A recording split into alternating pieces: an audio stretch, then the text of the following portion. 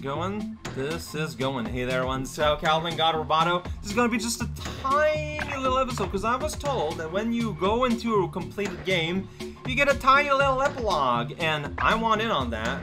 So if you load game, yeah, okay, yeah, you're the cat. You wake up like on an actual bed. Well, you were on the pillow, but now you're floating over it a little bit.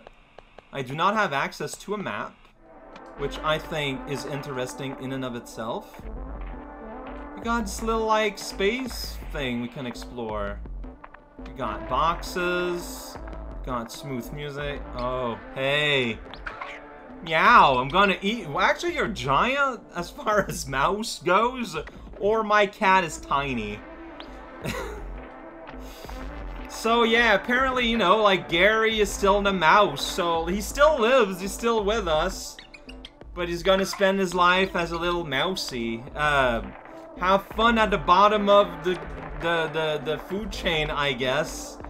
Have fun living the stressful life of a, of a prey species. Uh, here's a cup. Here's Ghost Cat floating on above, and there's Barkley just going woof, woof, woof. I can't speak to him. I guess not. There's a computer. Barkley's doing good. He's doing his exercise wobbling his NPC animation that's very, very violent. Like he's he is on the move. He's just he is doing the wave with the spines. But yeah, it's a tiny little room. Like now, anytime I load up my game, this is what we get.